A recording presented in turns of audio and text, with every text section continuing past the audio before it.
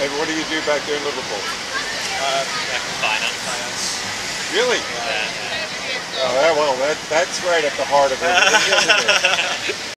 So how do you guys feel about the Brexit vote? Who are going to ask? Of course. Uh, we voted for it. We voted- wonderful. That's for it, wonderful. Yeah. I think, I think a lot of younger people voted to remain, and a lot of older people tend to have voted to, to, to leave.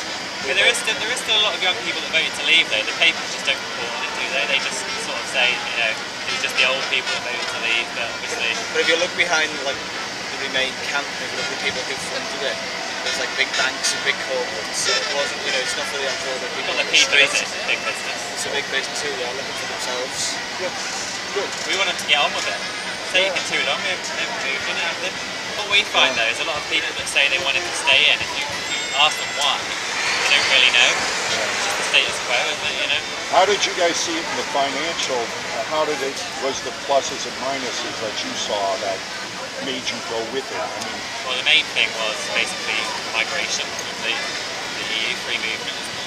Well, it's supply and demand, isn't it? Because effectively what happens in the UK is obviously anyone in Europe can move to the UK. Um, now we're not affected in finance, but if you work in more of kind of lower skilled jobs, there's a big drag because if, if you, for instance, worked in um, Romania and you get say paid two dollars an hour, but if you come to England it might be like fifteen dollars an hour. So obviously a lot of there's a drag of pulling a lot of um, low paid people over to the UK. Now in our industry it's not really a problem, but I know a lot of people like schools and healthcare. There's a big strain on Housing. housing. Um, but people just say, oh, you're you don't know what you're talking about. You know, you're uneducated, you're stupid, you're everything else, everything else. You're, you're not in finance, and you don't see the flow.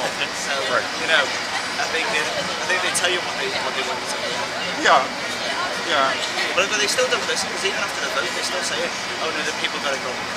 That's the thing. they they I understand they're trying to say, well, yeah, it was passed, but we're going to ignore it. I understand that's being pushed right Well, now. I think the government was so sure that they were going to, they thought everyone was going to vote to stay in, didn't they? So it was such a shock on the day when, it, you know, when the votes came in. Sort of like they did with Trump here. Yeah.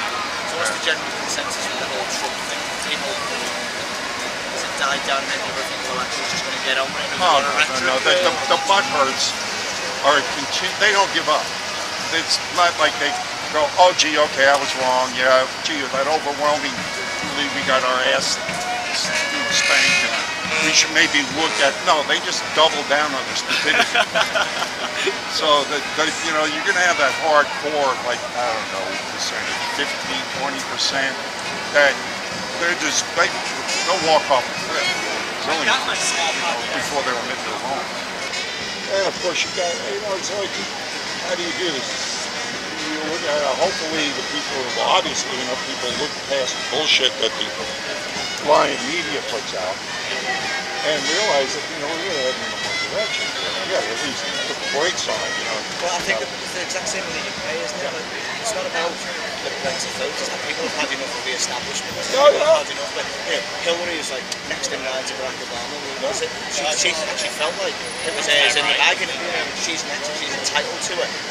Um, and I actually, watching the US election, I didn't feel like she actually gave anything to the, to the normal people on the street. Why would you vote Insult, she insulted them. well, it's the same, the same with the Brexit vote. You know, it was, they were trying to basically force people to say, if you do this, this is what will happen. There'll be a massive recession. Actually, the economy is strong, stronger than it was before, before, before the Brexit vote. So who knows what's going to happen? Did I give you guys get out of jail free card yet? Yeah, we've got those, yeah. You want to go to the back and see the YouTubes that I Have you got did. YouTubes? Yeah, yeah, you'll be on it. Oh, okay. is it the, A little, yeah, a little souvenir for your vacation, you know, you'll be able to go. Hey, that was us in New Orleans. Talking about Brexit. Yeah, hopefully I don't get you fired or anything. Ever get out of jail free card. Well, you have a nice day. By yourself, man. Right, see you later. Bye-bye. Christmas.